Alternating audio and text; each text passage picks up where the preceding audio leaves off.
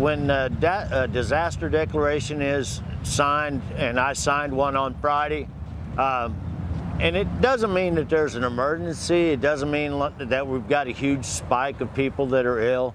It just gives us the ability to get the funding and the resources from county, state, and federal levels. You know, we, we determined it would be better for Buda to go ahead and get ahead of this thing so that we have all of the mechanisms started. Now, we did go over all of our plans, all protocols and procedures, and uh, as this changes, and it's changing every day, but as it changes, we do have the procedures in place to modify any work schedules that need to be done. You know, we will take care of it. The people don't have to worry. There's going to be water, sewer's still going to work, and there's going to be food and toilet paper, as the judge pointed out, on the shelves at HEB, Walmart, and our local retailers. So everything's in place. We will get through this. I mean, we we survived fires. We've survived the floods, three separate ones.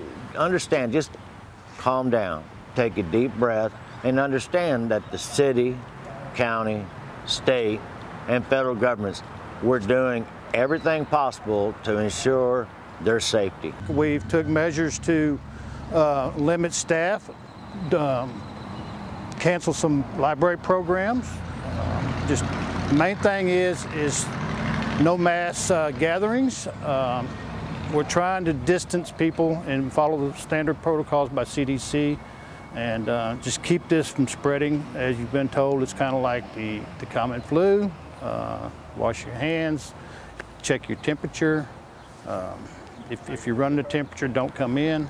But uh, just use good, simple hygiene. And we'll continue to monitor this and meet multiple times a week and come up with plans as necessary.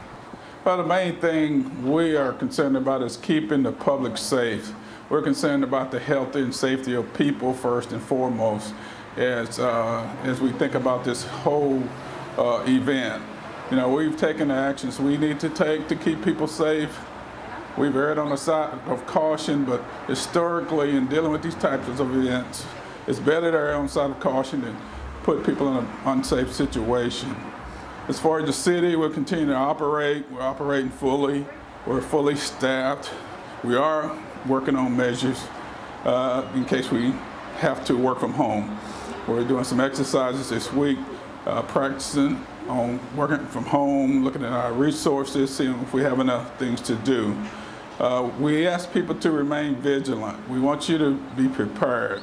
We don't want you to panic, but be prepared and be able to take care of you and take care of your family in, in, in a situation no matter what happens.